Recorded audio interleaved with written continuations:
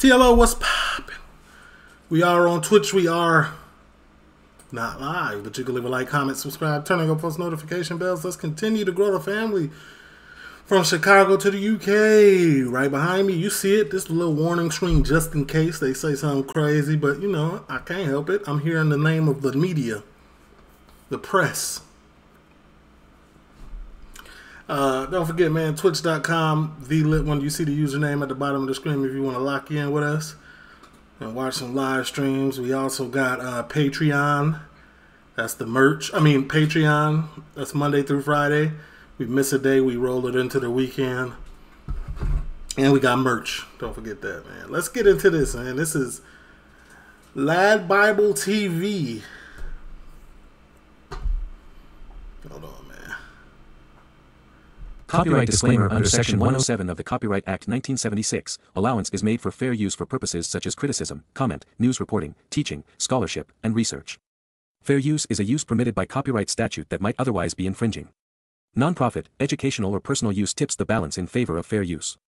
No copyright infringement intended. All rights belong to their respective owners.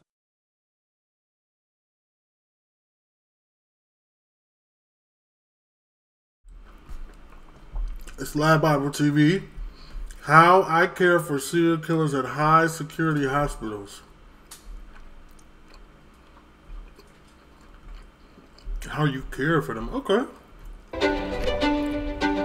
Should be interesting. What were you like as a child, Gwen? And did you always have an interest in the way people's minds work? Well, as a child, I really enjoyed reading detective stories. Agatha Christie uh, was what I used to take out from the public library with my mum uh, when we went every week. I really enjoyed those kind of murder mysteries, and they're still something that I enjoy.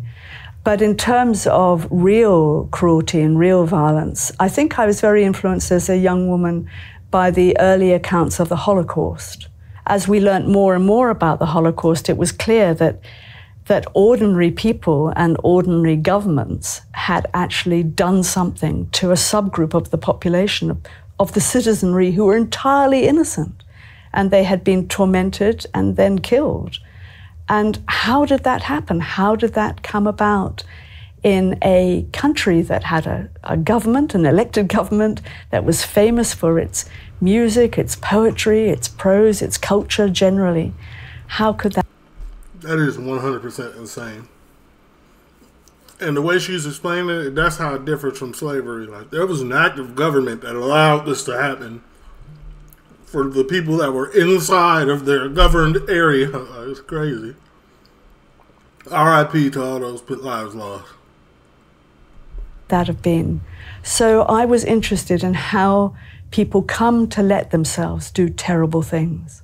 And I was also interested in the kind of philosophical aspects of it about how should we judge people who've done terrible things when they were actually not themselves at the time, when they really weren't well.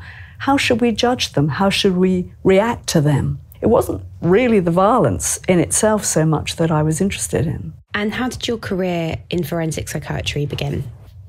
Well, when I started working in forensic psychiatry, I was working in South London in, a, in an outpatient service.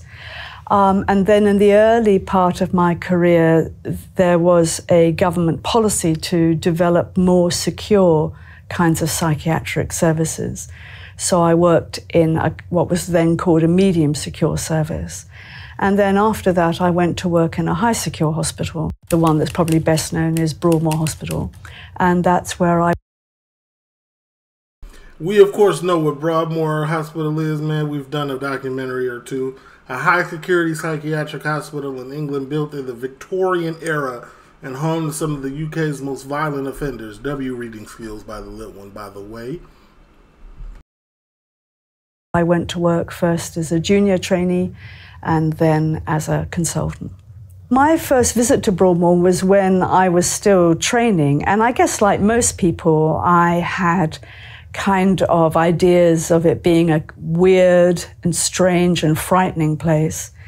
And certainly the pictures that are often taken of the 19th century buildings kind of gave a kind of horrific kind of look or a, something kind of dank and frightening.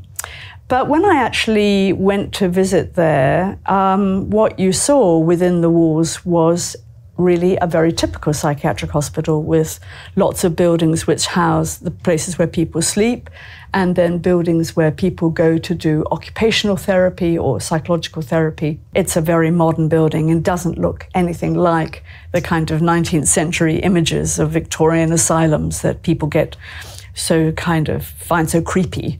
The only thing that marks it out really is that it has extra security that other hospitals. I don't believe I ever seen those pictures that popped up on it. Looked very, very spooky. I ain't even gonna lie. All them beds in one room. It's like a prison dorm, but I wouldn't be. I wouldn't be as. I would be worried, but like I'd be more worried in a psychiatric ward to be sharing a space with so many people. That's just me and my regular train of thought. Hospitals don't have. And the other thing is that probably most of the, all of the people there have done something frightening and violent, often fatal violence. I read that you um, you happened to meet Peter Sutcliffe. Well, I think it would be fair to say that he was pointed out to me once. Um, um, I mean, even within Broadmoor, Mr. Sutcliffe was unusual. There were two things that were kind of striking about that. Uh, one is just the fact that people went to the bother of pointing him out as if that was going to tell me anything. You know, oh, look, there's so and so. And, you know, so what? But also, that was the thing, is that really nothing happened. You know, I didn't, I just saw a man. I just saw. So you was a professional, professional. A middle aged man. I didn't see anything. There was nothing to see. And I think that's a really important aspect of forensic psychiatry that when you work with people who've done terrible things, you know, it's not necessarily there in their face or their body. There's nothing to see. You really have to spend quite a lot of time. Especially the, the Jack Ripper dude, I heard he was like very unassuming. You wouldn't even, you know what I'm saying? Time talking to people before you can kind of get at the states of mind that lead to causing great cruelty and harm to others. What happens in the sessions in your therapy room? Well, the therapy sessions that happen in a prison or a secure hospital are pretty much like therapy sessions anywhere. If you're at the beginning of therapy, you're often having conversations that get people used to the process of talking about themselves. And that can take a while. Many people I meet are not accustomed to talking about themselves at all. Many people I meet at the beginning of therapy have never really thought about their minds and feelings as something they could talk about. So often the beginning of therapy is just getting that laid down. And then, um, and then we move in often to talking about how they come to be, either in hospital or in prison. And I usually let people get there themselves, but sometimes it's very clear. So, for example, I'm thinking about a man who I work with in prison. Um, I was asked to see him because he was very suicidal. Um, he had committed some very serious acts of self harm and had been in the hospital wing of the prison because we were everyone was so worried that he was self-harming. And he was a man who had been convicted of uh, joint enterprise uh, murder which is to say although he actually hadn't he was there though. carried out the fatal blow he had been part of the people who were there, and so he got convicted of joint enterprise. I hope y'all listening, man. Just because you ain't do it, don't mean you're not gonna get that same conviction if you was there. His murder, um, and he found this very distressing. You're guilty by association in the streets and in the in the in the courthouse. Uh, partly because he'd never been in trouble with the police before, um, and he was somebody who was a kind of regular guy. Um, and it was probably something to do with a drug deal that went wrong, I think. Uh, or that's what he said, anyway. Um, but he found himself, he found doing a life sentence in prison was very distressing.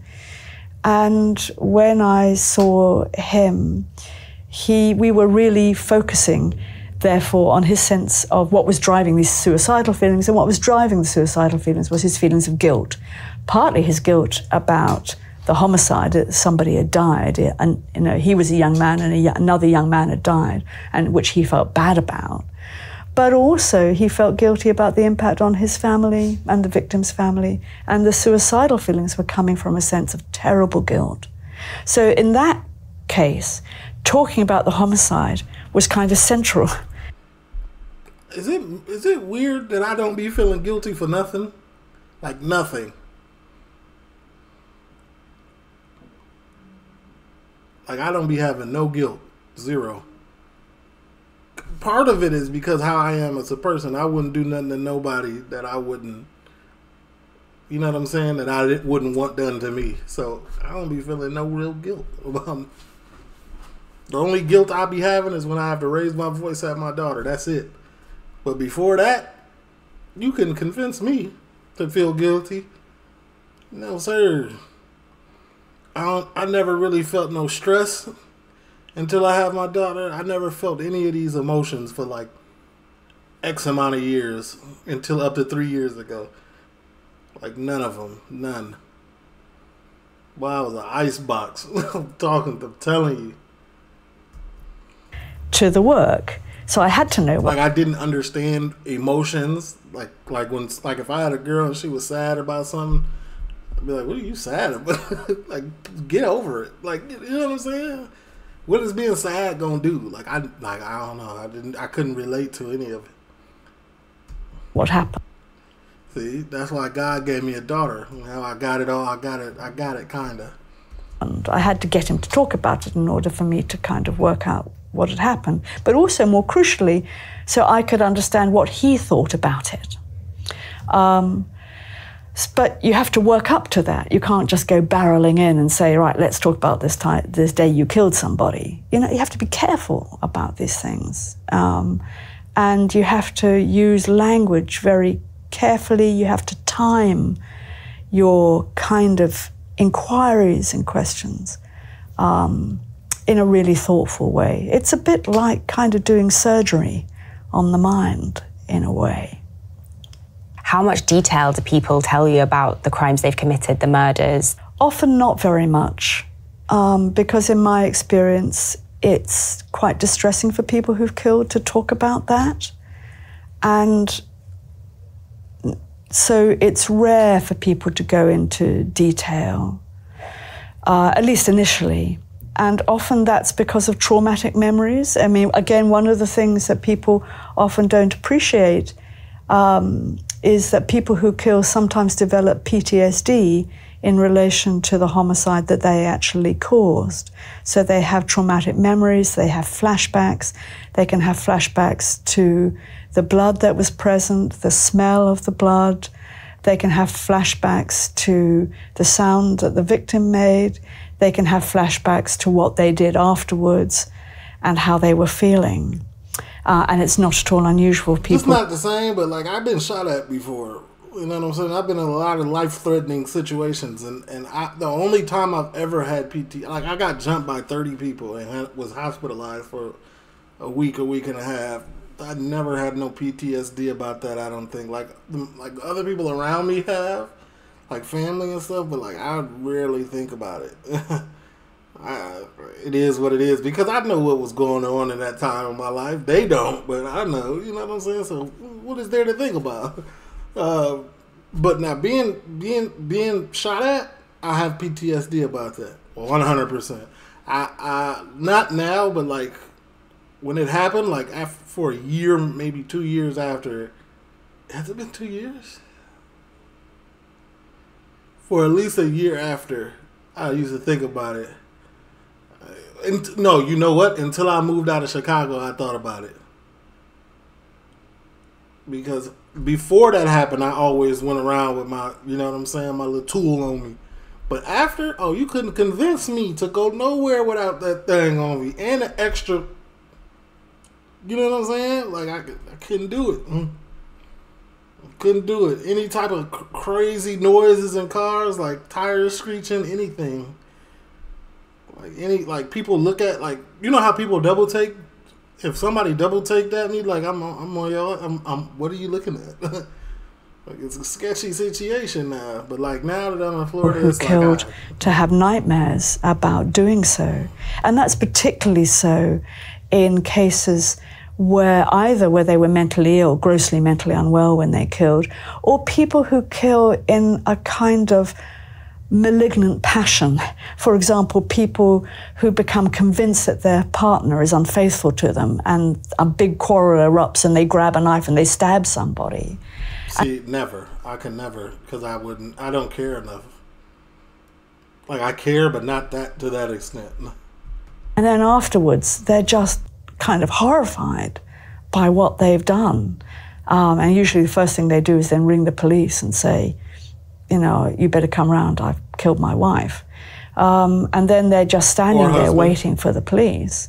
Um, and, and that can be the stuff of nightmares. If they do try and get rid of the body or bury the body, is that something that you talk about with them? Getting rid of a body is very difficult. Dead bodies are extremely heavy, so you need someone to help you Well, that is- Um, but if you get someone to help you, that kind of raises a serious problem. So, for example, cutting up a body seems absolutely horrific um, and monstrous. But people I've met who've cut up a body have said kind of quietly that it was a practical solution to the problem. And again, people who do that are usually in a slightly odd state of mind when they do it. They're kind Yeah, of that's- that's dissociated a bit from reality. It's if it's like a dr- to do that and then just go on with your day is dreadful dream. That's what some people say. You've worked at Broadmoor for a large part of your career. Um, what types of patients do you normally come across? You can't get admitted to Broadmoor unless you've carried out the kind of violence that's very frightening and disturbing to other people. And we see a lot of people who've killed family members when they were mentally ill. And I worked a lot uh, with people who'd killed in that way. And in fact, together with some excellent colleagues of mine, we set up a therapy group for people who killed, um, which uh, was called, not very imaginatively, a homicide group. And our homicide group met every week to allow people to come and talk about their experience of having killed and what it had done to their lives and what they felt about it now and the impact it had made on not only, of course, the people that they killed, but their extended family and friends and the loss of their own life from the past. At the beginning of groups like that, people often talk about what it means to have killed somebody. And one of the things that our people are often preoccupied by is what makes them different from soldiers. We see soldiers as kind of licit and even admirable people because of the social context. But when people who are mentally ill kill, then they are seen as being monsters or weird or bad. Um, and that heavy difference. That kind of stigma around killing, I think, is very hard to live with. And it's not that people try and kind of see themselves as victims, they don't. But they do sometimes struggle with the sense of being hated. And have any of your patients experienced that feeling? So I'm thinking now about somebody who had a long history of mental illness, and she had religious delusions. Um, and she developed the delusion that she was being persecuted by the Antichrist. And she then extended that belief to include people who were working in the care home where she was living. She was living in a mental rehabilitation hostel. Um, and very sadly, she developed a belief that one of the care workers there was an antichrist. And she believed that she was in danger from this person. And eventually, she thought about it for some time. That's what's so sad about it, because she knew it was wrong. But the grip of the delusion was so strong that eventually she went down and she grabbed a knife and she killed this man. And afterwards, she was very distressed. That's what I'm saying, bro. I could, I, me personally, mm, I can't work do that type of work. We used to have an Audy home where I used to live. I used to live like like kind of like Rogers Park. This is the north side of Chicago, and like like right on the edge of the the the, the first suburb going north is called Evanston. So I used to live like uh, it's called the uh, low end. No, it's called the south end, south end of Evanston. So right there, like on the border. So I used to live there. It used to be an Audy home, like super close. Like there's a corner store. You walk to the corner store. The Audy home was like right across the street from it. Um, like the mental, it's like a not an Audy home. I'm sorry. It was a mental mental hospital. Bro, I used to be terrified. I was a child. Keep in mind, I used to be terrified to walk past there because of what she's saying. Like, you don't never, like, no offense. Like, I don't want to judge nobody. Don't take this to heart or anything. But you don't know what, especially as a child, I don't know what is going on. And I don't know the, I don't have a full grasp on mental illness at this time. So I don't know what's going on in their head. I don't know if they looking at me for ten minutes thinking I'm something like like what she said that the anti-Christ. Like I don't know. I would avoid that place at all. I'm cross. I cross the street and think about my god brother used to live next door to the place, but he had they had like ten dogs, ten pit bulls. So like it was like you're not going over there. so I think that's the reason they had so many dogs, low key. Uh, but like I used to try to avoid it at all costs. Simple as that. And very suicidal. Um, and that's how I met her because she was transferred from prison to Broadmoor. This was when we still had women in Broadmoor. We don't anymore. Um, and when I met her, she was still very psychotic, still very paranoid, still very deluded about there being antichrist everywhere. But she knew that she had done something to Yeah, I was hyper paranoid in Chicago too. Very. Like I don't have that no more, but like I was overly paranoid after getting shot at. Definitely paranoid. Paranoia and the lifestyle I was involved with. So it's like double bubble. Like you got to be like, oh man, I don't know what's going on at this time. I Don't know what's happening. But like, I feel like a lot of people in Chicago might need some mental help, health, uh, uh mental health assessments. Terrible. Not like, not that they were born with it, but could like just being there, you could develop. And she felt terrible about it. Through circumstance. And she knew that she somehow had to come to terms with what she'd done, but she didn't know how. It's very uncommon for people with mental illness to kill, extremely uncommon. I mean, lottery winning uncommon. It's so rare. Um, but of course, when it does happen, then although family members are actually initially most at risk, it's also possible for people with mental illness to kill strangers when they're grossly mentally unwell. And it's actually, you know, slightly more likely that they will um, attack uh, strangers.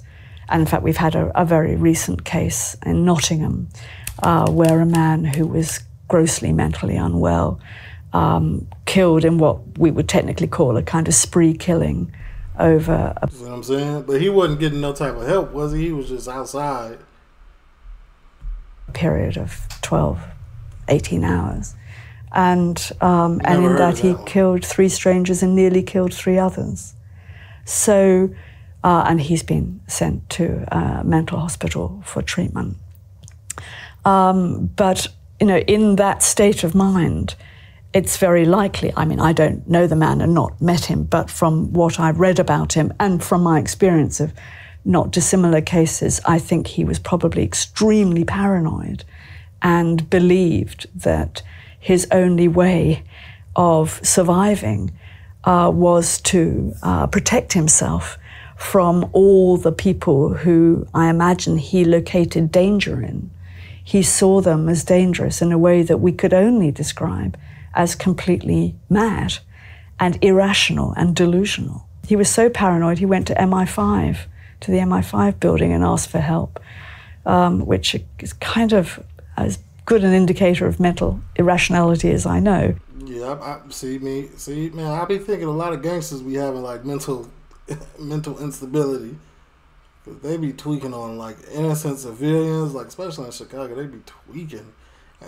Like they see one person and like, are you delusional? Like, can I just walk? You know what I'm saying? Like, everybody's this type of person to them. So they're all sad stories. I mean, they're all really sad stories. It's that's why it's it's never about evil. It's about sadness, really, and grief. Have any of your patients ever attempted to leave or kind of run away or escaped Broadmoor?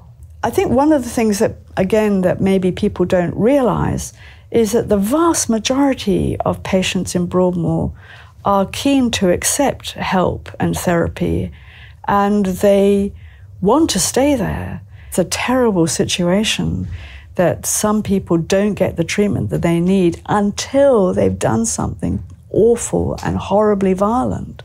That if only they got the treatment before, they might not be in this situation. Actually, I, you're making me think of a man I you know, was working with last year who said to, to me, I'm not glad to be in Broadmoor, but I'm grateful. And what's the most shocking thing you've ever heard or case you've ever dealt with? I think the most disturbing people I meet are the people who deny any responsibility for what they've done and blame other people. So they don't really, you know, if only somebody had helped me properly. Mental illness and narcissism are those two are those are those two separate things or is that one thing? Mental illness. Are narcissists mentally ill? That's a solid question. I believe it's so. more about you know, uh, no, I'm a good person. The victim was a d- bad person. These kind of things. I think those are the cases which I find disturbing because it's hard to know how to engage with people who are in denial of reality. The kind of situations, funnily enough, where I meet this now is not so much in the criminal courts, but sometimes in family courts where parents are accused of um, assaulting or hurting their children. And I quite often meet men and women uh, who clearly have hurt their children, uh, but can't accept it and deny it, and either say it wasn't them or they blame somebody else, or, or sometimes. Yeah, that's a little bit wild, man. It's hard to take accountability when you out here doing stuff wrong to your kids, man. When you're going overboard and things of that nature, and disciplining or or just doing weird stuff. You know, I ain't gonna say stuff, but yeah, I know what I'm talking about. Sometimes they blame the child, Blame the child, and that's wild. kind of disturbing. very. Have you ever been scared or frightened? Have I ever been scared or frightened? Not in Broadmoor. Sometimes in prisons. Sometimes in prisons. I mean, the the the place where which is most unsafe is the community. So actually, the places where I've been assaulted have nearly nearly all been in outpatient clinics where people who've been in very disturbed states of mind, often because they're intoxicated, um, have come in to clinic and been very angry with me for some reason or other and assaulted me in those circumstances. And often that happens very fast and you don't have time to be scared. So, uh, part of my training as a forensic psychiatrist is about trying to read those cues. And it's my responsibility not to put myself in any danger because I don't want the people I work with to get in any more trouble than I feel like every day having that type of job is you're gonna put yourself in some type, some degree of danger. they're already in. How do you kind of deal with sitting in a room with people that, you know, lots of people would say are monsters? I kind of feel that how do I know that this couldn't have been me? That in the right circumstances, maybe I could do something just as bad as this. Who's to say that if I The scariest part of like this these situations like this, like anybody could have a mental break, a mental lapse, and do something that that that that that that is deemed that will that the court will say, oh, he wasn't in his right mind. Like it, it could happen to anyone. See, that's why that's why we stay drug free, because these things mess with your mental mental. It mess with your brain. It mess with your functionality, and like too much of anything is gonna mess with your brain, man. It's gonna mess with who you are as a person. But just like like like, and I say too much of anything, I mean too much stress. Too much stress to click it up like that too. That's why I be, you know what I'm saying. I don't know why. That's why I never really felt stressed, but but hey, salute. I had not been through some of the things that these people have been through. And I have to say, some perpetrators of serious violence have experienced terrible violence themselves. Facts, facts. Circumstances will play. Your circumstances in your life will bring like play a huge part of them. As children. So who's to say if I'd been through what they'd been through as a child, and if I'd had serious addiction problems and developed serious mental illness, who's to say that I might not have killed somebody too? So I kind of start from the position that I may have more in common with this person than first appears. And as a society, how much empathy do you think we should have for people that commit serious acts of violence? I think that it's very understandable that we all feel hurt and distressed and outraged when somebody commits an act of terrible, fatal violence. Of course, we all feel outraged. I feel that outrage too. And I don't want to minimize in any way the distress that victims and victims' families feel. Um, and in fact, it's a very important part of the work that we do is we always keep the victims and their victims' families in mind when we're doing this work. It's not a question of either the offender or the victim, it's both. But what I will say is that I think revenge, although a very natural and human emotion, is an emotion that we can't afford. It's too costly. It's too costly in t- I agree. People who seek revenge and go for revenge normally are the ones that get caught. You know what I'm saying? They, they're like they, the chances of you seeking revenge and not getting caught are very slim. In terms of our psychological well-being, it's not good for us to be vengeful. Does things to you. Actually, could take you to a place where you kill if you're that vengeful. But it's also too too expensive um, financially. We currently yeah, see, have. I don't hold grudges or anything. If I'm gonna do something, it's gonna be in that moment. You know what I'm saying? And even in the moment, I can take a step back from the situation and think. You know what I'm saying? Now that I'm older, you know what I'm saying? When I was young, couldn't do it, but like now, I can take a step back, see what's going, how this might play out. I have 60 people on whole life tariffs. That means they will die in prison. Um, and we could still keep people constrained and detained and contained, but we don't have to keep them in prison to the day they die. And what do you love about your work? Well, it's just so interesting. Every single day is different. Um, it's both interesting intellectually but it's also interesting philosophically. You know, what is the difference between a Nazi prison guard who kills a prisoner and a man who kills his wife because he believes she's unfaithful to him? What's the difference between these two men? They both killed. Are they in any way similar? Are they different? If so, how? Why?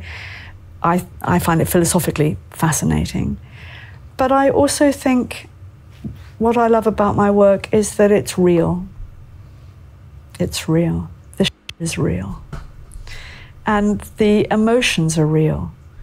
And that's a privilege to get up close and personal with real human beings who are in an extraordinary situation.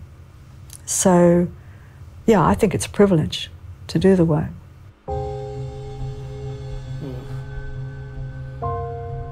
Very interesting.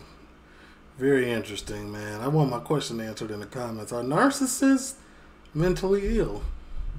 Talk to me. TL, leave a like, comment, subscribe, turn on post.